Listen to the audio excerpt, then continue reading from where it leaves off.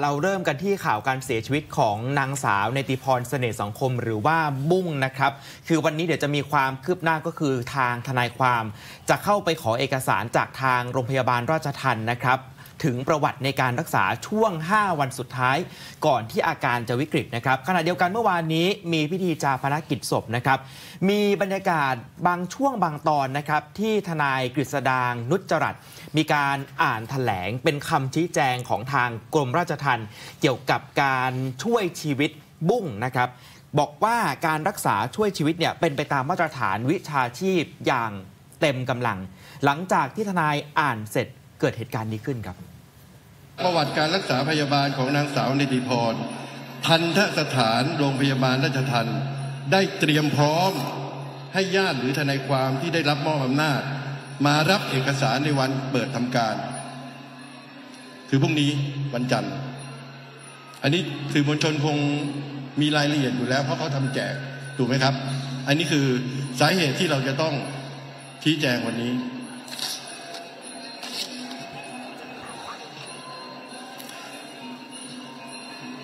ต่อไปเป็นคำชี้แจงหลังจากที่เราทราบเศษกระดาษเมื่อกี้นี่นะ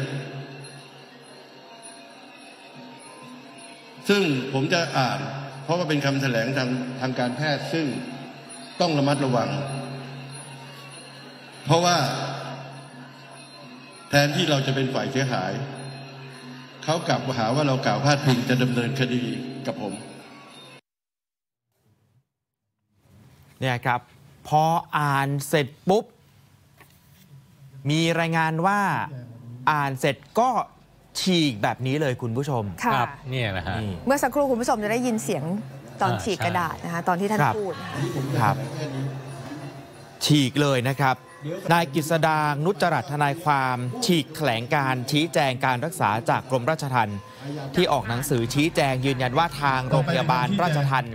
มีการรักษาพยาบาลให้กับนางสาวเนติพรเสน่ห์สังคมหรือว่าบุ้งตามมาตรฐานวิชาชีพอย่างเต็มที่ โดยมีการแจ้งนะครับบอกว่าหนังสือชี้แจงดังกล่าวเนี่ยเป็นเพียงเศษกระดาษเท่านั้นอืมพูดเสร็จปุ๊บก็ฉีกแบบนี้เลยครับ หลังจากนั้นหลังจากที่ได้อ่านแถลงคำชี้แจงการรักษาโดยอ้างเวทระเบียนของโรงพยาบาลธรรมศาสตร์เฉลิมพระเกียรติ มีสาระสำคัญว่า ข้อมูลการรักษาเวทระเบียนที่ได้จากโรงพยาบาลธรรมศาสตร์ เมื่อตรวจอุปกรณ์ใส่ท่อช่วยหายใจที่มีกล้องติดอยู่ที่ปลาย พบว่าท่อช่วยหายใจเนี่ยไปอยู่ในหลอดอาหารครับ จึงทำให้การใส่ท่อช่วยหายใจใหม่ที่ห้องฉุกเฉิน ก็ถูกตั้งคำถามอยู่เหมือนกัน ร้อมกับตั้งคำถามกับโรงพยาบาลราชทันกับเหตุการณ์ที่เกิดขึ้นทำให้นายกฤษดางบอกว่าเดี๋ยวจะต้องขอไปเอาเอกสารจากโรงพยาบาลราชทันที่ชี้แจงการรักษานางสาวนิติพรในช่วง 5 วัน ก่อนที่อาการจะวิกฤต และกระบวนการกู้ชีพในวันที่เสียชีวิตเพิ่มเติมครับ แม้การใส่ท่อช่วยหายใจ ผิดพลาดลงไปในหลอดอาหารเป็นสิ่งที่พบได้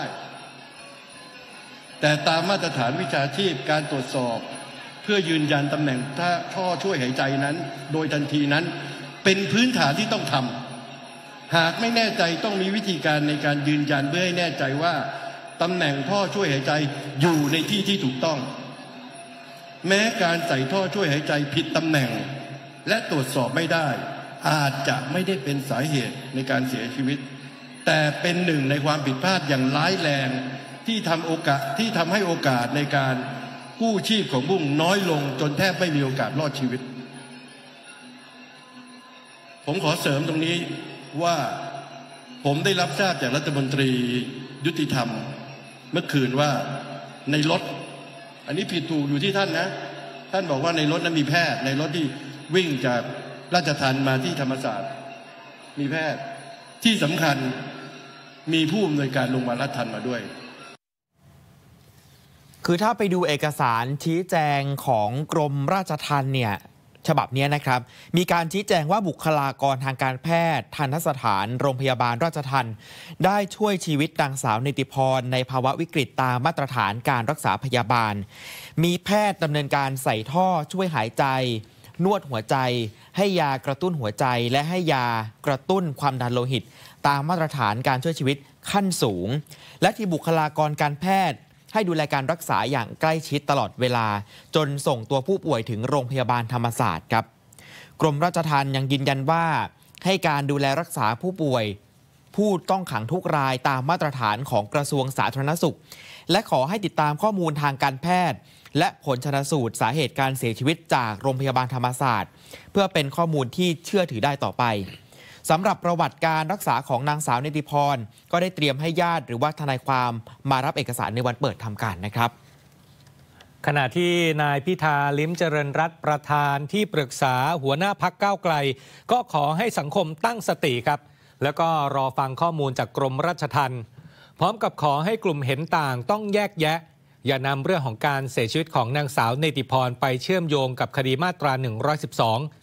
พร้อมกับยืนยันด้วยนะครับว่าพักก้าวไกลไม่ได้ฉกฉวยโอกาส เพื่อหวังผลประโยชน์ทางการเมืองครับ ไม่ได้เป็นการที่จะมาฉกฉวยเอาผลประโยชน์ทางการเมืองใดๆตอนนี้ไม่มีเรื่องนั้นอยู่ในหัวของเราอยู่แล้วครับพูดถึงเรื่องเป็นการเป็นการให้ให้เกียรติกับครอบครัวผู้เสียชีวิตมากกว่านะครับ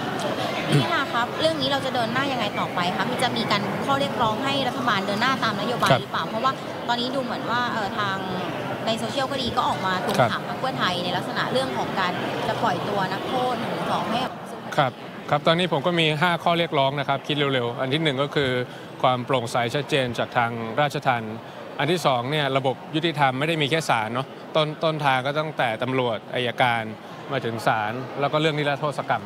เพราะฉะนั้นทางตำรวจกับอายการเนี่ยถ้าเห็นเอ่อนโยบายที่มาจากทางรัฐบาลว่าเรา ไม่เอาผิดกันในเรื่องความผิดความเห็นต่างทางการเมืองนะครับชุดความคิดที่อาจจะไม่ตรงกับทางอำนาจรัฐเนี่ยถือว่าเป็นเรื่องปกติในประชาธิปไตย ทางตำรวจกับอายการเนี่ยก็อาจจะชะลอ หรืออาจจะรับฟังตามนโยบายที่รัฐบาลโดยเฉพาะอย่างยิ่งนายกรัฐมนตรีที่เป็นคนที่รับผิดชอบตำรวจโดยตรงเป็นต้น อันนี้เนี่ยคือต้นน้ำหรือว่าต้นต้นสายทานของระบบระบบของระบบยุติธรรม คือ 5 ข้อที่นายพิธาเนี่ยเรียกร้องไปยังรัฐบาลเนี่ยนะครับ โดยนายพิธาก็เชื่อว่าถ้าหากมีการข้อเสนอทั้ง 5 ข้อเนี่ยได้รับการดำเนินการนะครับรวมถึงระบบกระบวนการยุติธรรม ต้องเริ่มต้นตั้งแต่ชั้นตำรวจอายการ และต้องรีบผลักดันกฎหมายนินิรโทษกรรมเนี่ยครับโดยที่ไม่แยกกลุ่มใดกลุ่มหนึ่ง ก็เชื่อว่าจะเป็นการถอนฟืนออกจากกองไฟทางการเมืองได้นะครับ โดยนายพิธายังขอให้การเสียชีวิตของนางสาวเนติพรเป็นเหตุการณ์ครั้งสุดท้ายด้วยครับ พร้อมกับยอมรับว่าตอนนี้ก็เป็นห่วงนางสาวทานตะวัน ตัวตุลานนท์ซึ่งขณะนี้ก็ถูกย้ายตัวมาอยู่ที่โรงพยาบาลธรรมศาสตร์ โดยอยากให้นางสาวทานตะวันคิดถึงภาพรวมครับ พร้อมกับฝากถึงครอบครัวให้ช่วยดูแลด้วยครับ